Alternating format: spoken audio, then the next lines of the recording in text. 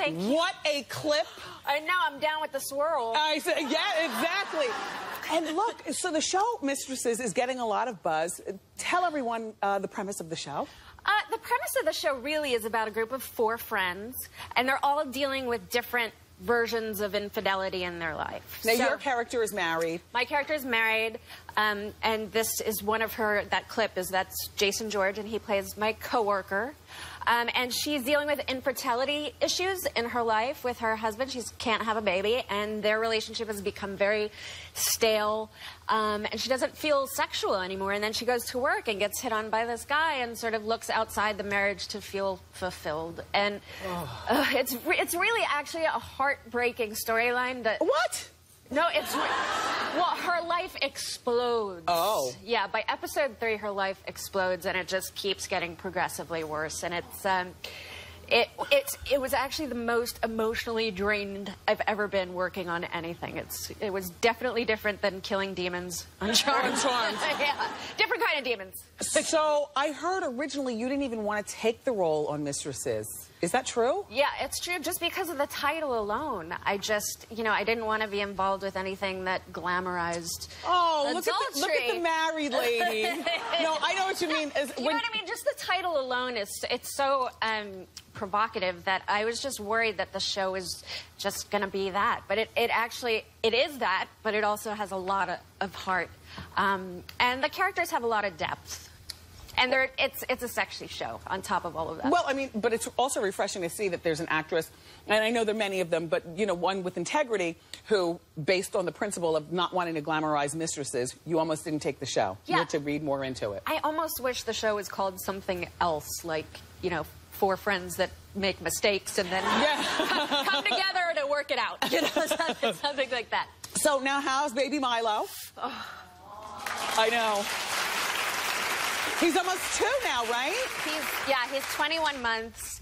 And um, you know, FaceTime is the greatest thing that ever happened. I FaceTimed with him on, on the way here actually, and he said, "I love you, Mama." Okay. So it is true. I was reading that Milo started talking about four months, started walking just a few months after that. So you've got a little genius. I, I don't know if he's a genius. I do know that he is. Uh, he's very smart and very dramatic. Very dramatic. he's very, very dramatic. Are you still breastfeeding? I'm not. Um, I stopped right before he turned one. Actually, he stopped. He- he oh. just decided he didn't want my boob Well, no- anymore, and I was a, I was a little offended, but it was actually, I think, hard, a hard thing for me because it was his decision. Where, you know, normally I would be like, "Wait, this is supposed to be my don't hear this. It's usually Yeah. the women who really. Yeah, he wow. weaned himself. Well, good for him. Uh, good for you. Yeah, Good. I So, guess. so now you got your after bo- after baby body back. Well, Did- sort of. I don't think you ever really get it back. Did you feel pressure? You know what? To be honest, I did not care to lose the weight at all. I was 170 pounds the day I gave birth to him. I was enormous, and I'm five foot two, so I that's was really say, a big. girl like you, that's big. yeah, and I loved every aspect of my pregnancy and and giving birth and all of it. And after I gave birth, I realized like. You know, this body was made to do really profound, uh, incredible Exactly. things, and it's such a machine. And so I was very kind to myself. I gave myself all the time that I needed. It took me about 18 months. I mean, you know, lose the weight. yeah, I, I st- my stomach will never be the same. I've, I've surrendered to that. I just look at my husband and I say, I'm sorry, honey. But you're you're a woman, and we're amazing. we are amazing. Yeah, yeah, we are. I mean, So now, what are your thoughts on the backlash that Kim Kardashian is getting about pregnancy weight? I think it's horrible. I think it's horrible because who cares? Like, what does it affect anyone's life how big Yeah. Kim Kardashian gets when she's pregnant? Yeah. She, you know, she's enjoying herself. She's enjoying. Uh, she looks gorgeous. She, yeah, she gives good face. oh my God, she looks gorgeous. Look, what is this? I just wanted to look at your tattoo. I'm so distracted. Oh, is that a snake here? Tattoo cam, Rambo. It's an Ouroboros, Ouroboros. What's that? It's an ancient symbol for totality and rebirth, and that's an Om, which is the Buddha sound of creation. Yes. Um, all right. So happy belated 40th birthday. Thank you. I can't believe you're 40 years old. Uh, you, you, you were only 10 when you started started on Who's the Boss originally, right? Yeah, was So very long time ago. I heard that your husband did something very special for you. Share. He did. He did the sweetest thing. so for my 40th birthday, I never went to my prom because I was working on Who's the Boss. Uh huh. And so for my 40th birthday, my husband threw me a surprise prom. Yes. Now, how did he get you there? Okay. So he got me there. I was working on Mistresses at the time, and he told me, yeah, that was me walking into the room. He told me that we were going to dinner to meet Gordon Ramsay. and I'm the hugest Gordon Ramsay fan. Second to me. Oh, huge, huge. I love I think. MasterChef's like the best show on television. Ugh. Yeah. So um, I was freaking out. I thought, what a great birthday present to go have dinner with Gordon Ramsay, and we're going to do it in his kitchen at his place in LA and to London. And I was so excited. So we get there, and my husband said uh, he's going to take us through the back, through the kitchen. Yes, yes. So we did all of that. I'm waiting to see Gordon Ramsay, and he opens the door, and it was this Everybody big in surprise. And he, it was so sweet. And he actually, um, after the surprise, he took me up to a hotel room, and he had 30 prom dresses picked out that he had bought.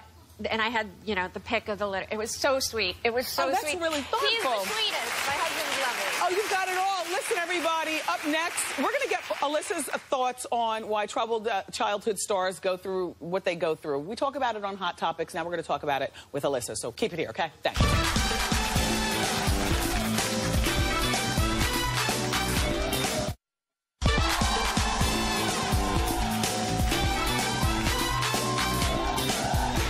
Too old now, 48. It's like selfish. Hi.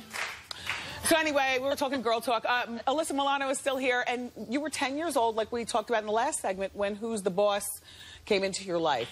Do you have, I mean, from the outside looking in, all the characters on that show were so great and warm and touching. Do, do you have fond memories of, of being there? I have amazing memories of being there, and I think in a lot of ways, because growing up in this business is really hard, but being surrounded by that group of people um, for the eight years, as well as my incredible family, Yeah. it was, you know, I had a lot of people to be responsible to, um, and all of them had great, great support and wisdom that they shared, and Yeah. I was very, very lucky to be surrounded by that group of people for So- those formative years. Yeah. So, what do you make? What do you make of some of the childhood stars like Amanda Bynes? Um, I saw that you tweeted her out of concern. Did she curse you out?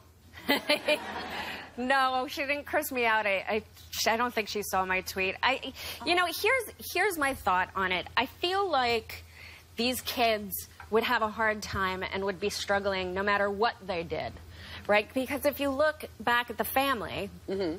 Um, you know, like like Lindsay and and the the family is is very disruptive, Right. right? So I think if Lindsay had gone to high school and then into college, and I think she would have struggled with the same struggles.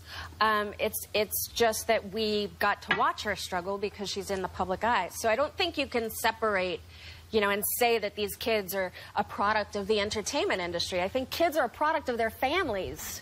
Some some adults say that childhood stars get the attention and they're missing that attention. Like with Amanda, she's she's retired from entertainment. She's a multimillionaireess. Do you think that there's a part of her that misses the attention? So I, I think that when it's all that you know, which again goes back to the family not Yeah. instilling um, values and priorities, I think that when that gets taken away or when you decide to give that up, Yeah. it is an adjustment period, but it only means that there weren't other aspects of that person's life that were, are fulfilling Yes. to her. You know, because I mean, my, my parents were so great. They were still to this day. They tell me I have to have a plan B in case things don't work out. Yeah. Where did you grow up again? Uh, I was born in Brooklyn, and I grew up in Staten Island. Staten Island. All right. Yeah. So it. I, I mean, I like that angle. It starts with home training. No matter what you do for a living, if you, you weren't, if you were dragged up instead of raised up, then maybe that's how things turn out. Yes. Well, I just wanted to clear up a rumor. So there's Uh-oh. this really, there's this really interesting rumor about you floating around, and it says that um, you were the inspiration for Ariel from The Little Mermaid. It, were you the inspiration for this character? I actually was, yeah. Really? Which I didn't know when it was going on. on. I didn't know that when it was going on, but um, I did. They asked me to host the making of The Little Mermaid, and it came out there that the the drawing and likeness of The Little Mermaid was based on pictures of me from when I was younger. Which is so cool. Doesn't that just make you want to dye your hair red and wear clamshell bra all the time? yes, that's how I walk around at home. Yes. well, as usual, delightful conversation with Thank Alyssa you. Milano, everybody. You make sure that you check out her brand new show. It's called Mistresses. It's Monday nights at 10 on ABC. Keep it here. We'll be right back.